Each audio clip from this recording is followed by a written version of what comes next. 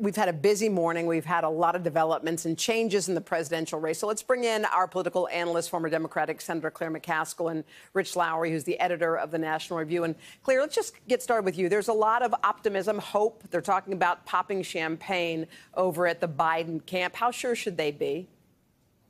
I think they have a right to be very confident at this point. Uh, these votes are going to keep coming in the same way in Pennsylvania. I think they'll build up a comfortable margin today. The question going forward is going to be how will this country survive a president who's making accusations without any proof? And the courts will have to weigh in on that. And they typically are not favorable about cases where there's no evidence. Let's go to Rich Lowry here. Rich, you are a conservative. You can see um, the math that's that's starting to develop on the map as well as anyone else. What do you think the Biden campaign should do if if the Trump campaign, which is saying it's fight to the end, it's mm -hmm. fight to the death, we're going recount, we're going lawsuit, so that's fine. That's with they're within their rights to pursue those tracks. How should the Biden right. campaign um, proceed? Should should uh, Biden go ahead and start naming a cabinet and doing all those kinds of things if he is declared the winner?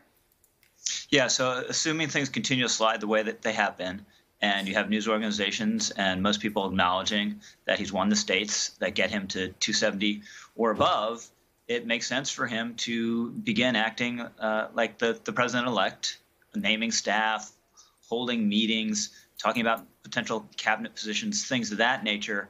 And I, I, don't think it makes a lot of sense to, for him to engage uh, Trump, uh, President Trump, who will continue to talk about fraud, will pursue legal avenues, but you don't win legal cases based on uh, the force of your rhetoric. You, you need evidence. And absent that, time is not on the president's side. And I would I think eventually you'd have Republicans like Mitch McConnell, who issued a very careful statement today, didn't endorse what the president was saying, didn't denounce him for it either. But you'll see over time, I think the Mitch McConnells of the world will saying, you know what, maybe this wasn't uh, totally fair.